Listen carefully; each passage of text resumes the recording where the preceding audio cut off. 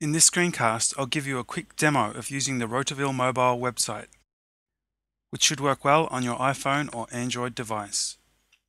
Begin by logging in. On the homepage, you'll see a list of upcoming shifts for the next two weeks. Click on any shift to see the details of that shift, including the names of other employees assigned to that shift. Click Back or Home to return to the home screen. The work link will show you a page listing the jobs you currently have on Rotaville. For these jobs, you can view each rota and its upcoming shifts. You can also view a list of the employees.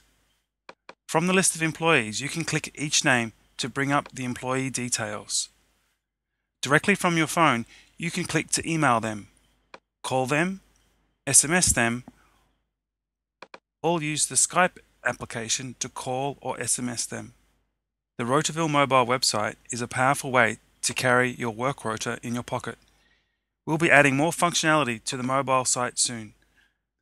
Please see our other screencasts about using Rotaville, including the printing and emailing screencast.